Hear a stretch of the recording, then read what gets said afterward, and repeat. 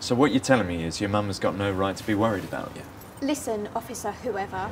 I've seen things you wouldn't even believe. So best not patronise me, yeah? Of course, of course. I didn't mean to patronise you. Anyway, it's just sex. Letting someone have sex with you whilst you're unconscious, it's not sex only, is it? I'm a sex worker. So I do some funny things, but at least I'm my own boss. I don't have to listen to the bullshit people shove down each other's throats about love, marriage, monogamy, blah, blah, blah. You married? Was.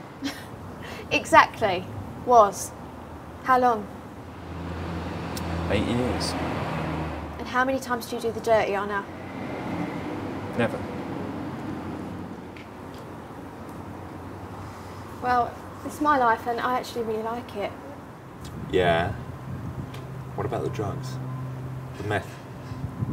See, I think you've got one, maybe two months before your teeth start falling out. Come on, Jenny. You're not really doing this by choice, not really. That's just a cuddly thought to help you sleep at night. Nah.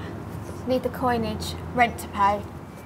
Well, I can see I'm not going to change your mind. Just give your mum a call. Let her hear your voice. It's not my voice she actually wants to hear. She's no better than the freaks that get off on these films. It's not who I am that actually matters. It's who they want me to be. Oi!